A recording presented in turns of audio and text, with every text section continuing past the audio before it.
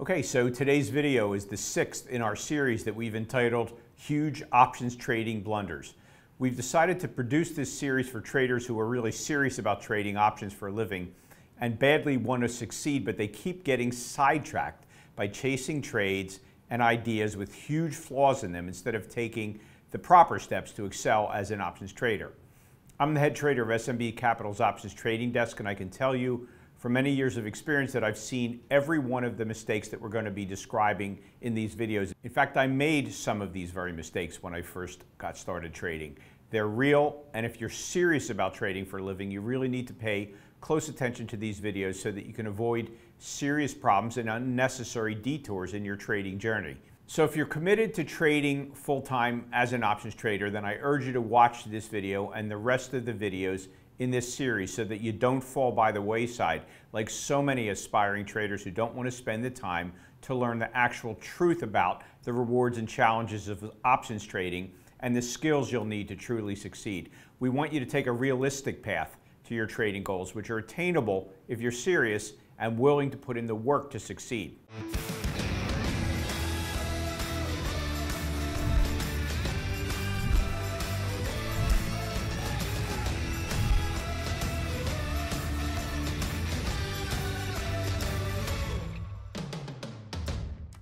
Hi, I'm Seth Freudberg and I'm the head trader of SMB Capital's Options Trading Desk. SMB Capital is a proprietary trading firm located in Midtown Manhattan and we provide capital for options and equity traders from all over the world, trading both remotely and in our offices here in New York City. Now, I'd like to suggest that you click on our subscribe button right now so that you don't miss any of our free trading videos that we produce for traders and investors all over the world. They're really very valuable.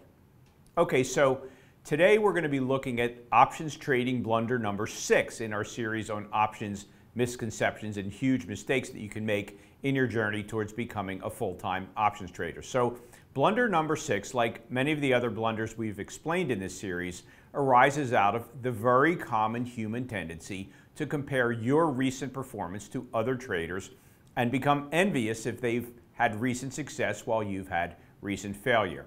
Does this sound familiar?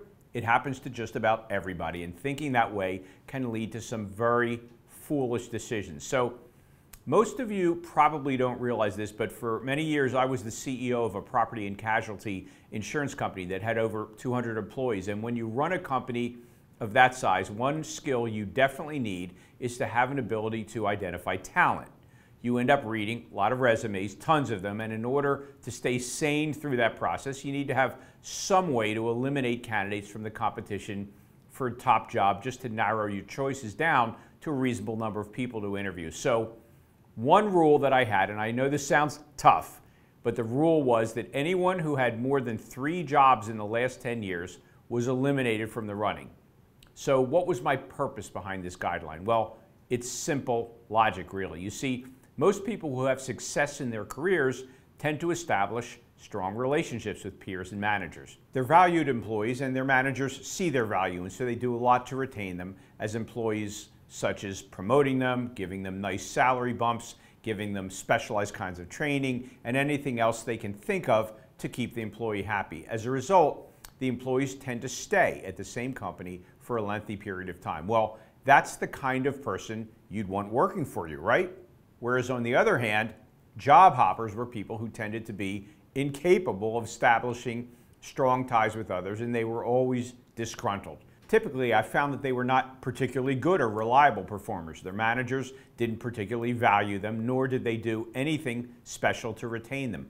Consequently, they began to look for other jobs before they got fired because they sensed their managers didn't value them or preemptively quit because they were pretty sure they were about to be fired. And this pattern would continue from job to job. They'd perform poorly, they'd complain and were disgruntled because they didn't get the respect that they thought they deserved, even though in most cases they didn't really particularly deserve it. And they would end up quitting on the brink of being fired, or they would quit out of a sense that the grass would always be greener on the other side, which it never was, of course. But most importantly, earlier in my career, before I put this rule into place, I noticed that anytime that I hired a job hopper type, that they would inevitably quit working for us in predictably about two or three years until I caught on to this pattern.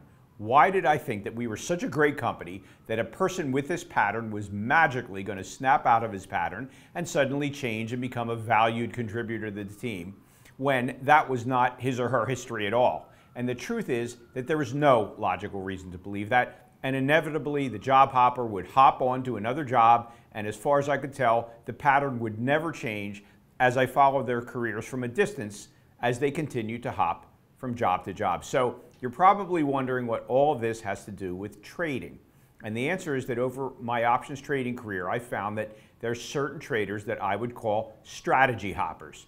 The pattern with these kinds of traders is that they establish a bread and butter strategy for themselves that they trade on a continuous basis for some time and experience success with it. And then they run into a rough patch where the strategy loses two or three months in a row. So what they start doing is listening to other traders who are chattering about the newest, shiniest strategy, what I call the strategic flavor of the month. And believe me, there's always a new flavor of the month strategy. I've watched this develop my entire trading career. And so what happens is that some new strategy that has experienced recent success is catching on. And a lot of people doing that exact same strategy are naturally all having success and therefore are all bragging in unison about how great this strategy is. And so the guys trading the strategy, which happen to perform poorly, are watching these guys brag. And instead of viewing the situation maturely, they get envious. And then they fall into options blunder number six, which states, I'm switching to the option strategy that is crushing it for everyone else because mine lost money for two months in a row and so they drop their current option strategy like a hot potato and rush to start trading the one that's making everyone else rich. Now, before we explain in vivid detail why option strategy hoppers always fail, I wanted to let you know that there really are sound, viable, long-term techniques for trading options for income. And in fact, we're currently running a two-hour free intensive workshop at the moment where we'll be teaching you three of those strategies that real professional options traders use, including a really simple but incredibly effective technique that some of the greatest investors in the world, like Warren Buffett, use all the time, plus an options trading strategy that has a statistical 80% probability of profit month in and month out, plus an option strategy that you can employ with a stock that you like where you'll make your target profit whether the stock goes up, goes nowhere, or even goes down a small percentage. So if those strategies would be of interest to you, then you should check out the free options class that we're currently running. Just go ahead and click the link that should be appearing now at the top right corner of your screen. That will open the free registration page in a new window, so don't worry, you won't lose this video. Or you can just head on over to optionsclass.com to register for this free intensive workshop. It's a rare opportunity for retail traders and investors to learn directly from Wall Street traders, but that's exactly what you'll be getting through this free online workshop. So click the link to sign up now and don't miss it. Okay, so what is the fallacy of strategy hopping that traps so many traders that fall into this options trading blunder? Well, let's think about it. You see, anyone who's serious about options income trading will rigorously backtest any strategy that they're considering trading, whether they've designed it themselves or they've learned it from someone else. And they will invariably find that there are periods when that particular trading style is hitting the ball out of the park, and other periods where it loses money. And incidentally, it is often the worst periods of time for a strategy that are followed by its best periods. But that's a discussion for another day. In any event, there's no way around the cyclical nature of options income strategies. No strategy works in every market environment. I don't care how well designed it is. Every strategy has market situations which will cause it to lose money. It's as simple as that. And if you're not prepared to believe that you will go through periods where your otherwise totally sound strategy doesn't make money, then do yourself a favor and quit trading right now because you're never going to find a strategy that won't have such periods. And the irony is that your backtests will undoubtedly reveal those weak periods, and you will, in a simulated way anyway, experience those down periods. But because it's not real money and it's just a simulation, you'll take those losing periods in stride if at the end of the backtest you realize that the strategy in fact yielded a solid return over a sustained period of time. If you find an approach like that, any logical trader will start incorporating that strategy into his trading practice going in with his eyes wide open, recognizing that the strategy will go through its ups and downs just as it did in backtest. But after all said and done, at the end of the day, the strategy provides a solid outcome. Okay, so here's a real world ex example of exactly what I'm talking about. And this comes from a strict backtest of two of the strategies that we track and for which we've actually produced video courses. So the first one on the left, that's known as the bearish butterfly. And in 2013, the strategy did very poorly. It basically just broke even at less than a 1% return. During that year, another options strategy known as the bull knocked it out of the park and actually made over 60% that year, an incredibly successful year. So the inexperienced bearish butterfly traders probably thinking to himself, hey, look at those guys over there trading the bull. They made 61.6%, and I'm over here trading the bearish butterfly, and I barely broke even. So my mama didn't raise no fool. I'm switching to the bull. And so the next year, in 2014, as and as you probably could have predicted if you were thinking this through, sure enough, the bearish butterfly has an insanely good year, as it often does, with a return of 146%, while the bull has a nice year, returning 26.8%, but nothing like the grand slam home run of the bearish butterfly that year. And almost as though the market was trying to rub it in your face, the next year, the bearish butterfly again went into triple digits at 107.6, while the bull ran down to single digits at 8.6%. And finally, to make matters worse, and mind you, this was totally predictable, had you simply stuck to either one over the three year period, you would have fared much better. And while the bearish butterfly strategy that you dropped early on performed much better than the bull, as you can see, either of the two strategies performed way better than the trade hopper.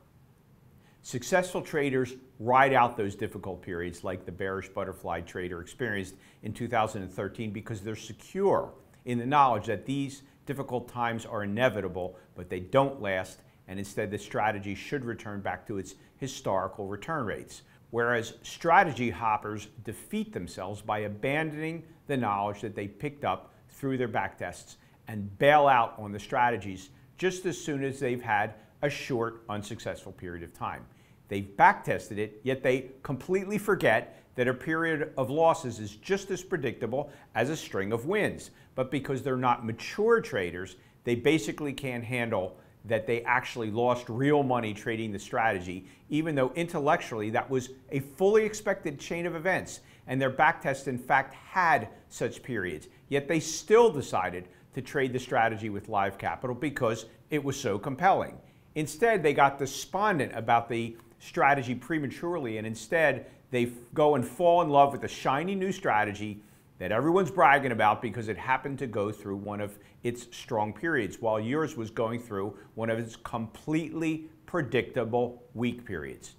If you talk to anyone who has strategy hopped before, there's a very good chance that they will tell you that the minute they switched over to the new strategy, that very same shiny new strategy started to lose money, and lo and behold, the strategy they abandoned suddenly starts working again. The truth is that the strategy never stopped working in the first place. It just went into a predictable down period, followed by a predictable up period, and the new strategy that the trader hopped to had gone into an equally predictable down period. Now, this is not to say that if other traders over a long period of time are experiencing sustained success. I'm not saying it's a bad idea to take notes and to strive to understand why they're so successful over a long period of time and possibly incorporated some of their ideas into your trading. I'm not saying that at all. In fact, that's a very positive practice. But what I'm saying is that if an options trader has experienced a few recent successes, while you've experienced a few recent failures, that's simply not enough data to reach any conclusions at all, let alone a drastic decision to completely switch your bread and butter strategy to some other strategy because some guys are over there high fiving each other about some recent wins using that strategy. Rather, so long as the market has not undergone some fundamental change that may have actually rendered your strategy ineffective, and that does occasionally happen. As long as that is not the case, then trade hopping simply doesn't work. I would say that most of the time when you trade hop, the strategy that you hopped away from starts performing better than the one you hopped to. It's just the way it is. It's the way it seems to work out. Ask any experienced trader. You don't have to take my word for it. So don't fall into options trading blunder number six. Instead, behave like a mature, experienced trader and abide by the backtest that led you to incorporate this strategy into your trading practice in the first place. That's the way professional traders think and conduct themselves.